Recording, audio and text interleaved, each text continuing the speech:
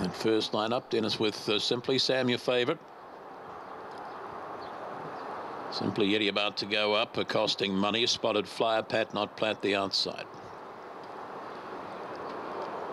About to go, the first of the day. Good luck if you're joining us here. 13 this afternoon. Race two, don't forget, guaranteed 10k quad. Set. We're away.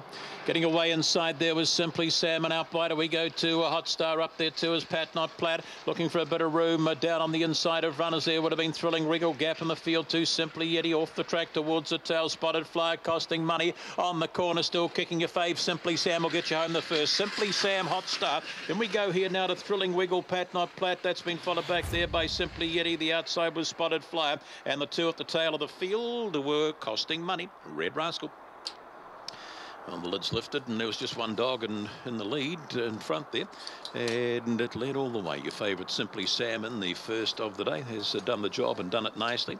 Won the three, the five, and the eight here and a time of 18 and 70. Just bounced and uh, much, much too strong for them. Once he, he just uh, showed that same acceleration he showed at uh, Cambridge the other day, uh, where he led him up, got caught late, but there was nothing running him down here. As you watch from the lids, the two and the four went up uh, with the lids, didn't they? Simply Yeti and uh, costing money.